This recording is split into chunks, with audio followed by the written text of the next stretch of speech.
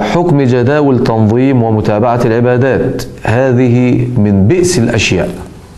يعني هذه مسألة ليست جيدة وإنما هي مسألة بئيسة.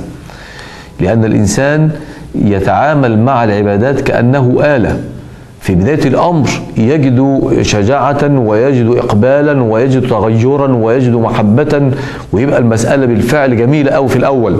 لكن ثم بعد ذلك تصير آلية سمجة وربما بغضت إليه الطاعات بسبب هذه الآلية. نحن نريد أن نطيع الله تبارك وتعالى بقلوبنا وأن تتوجه القلوب إلى الله وأن, وأن يكون الباعث على الطاعة ليس كتابة التقارير الورقية وسد الخانات ولكن يكون الباعث على الطاعة إن إحنا نبتغي ما عند الله تعالى من المثوبة والأجر.